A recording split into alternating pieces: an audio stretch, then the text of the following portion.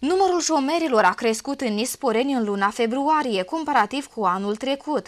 Astfel, conform Agenției pentru Ocuparea Forței de Muncă din raion, în prezent sunt înregistrați 291 de șomeri, cu 58 de persoane mai mult decât în aceeași perioadă a anului trecut. De la începutul anului, de la 1 ianuarie până la uh, data de 19 februarie, uh, avem înregistrați uh, 123, dintre care femei 67.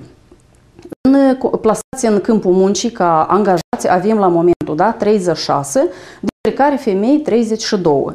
În comparație cu anul trecut, la momentul dat, deci erau 233 de șomeri înregistrați, ă, ă, dintre care femei 116. Referitor la structura șomajului după nivelul de instruire, șomerii fără studii și cei cu nivel de instruire primar, gimnazial și profesional au punderea cea mai mare în totalul șomerilor luați la evidență. Nu e atât de ușor, dar depinde, sunt anumiți factori care determină plasarea uh, șomerilor în câmpul muncii.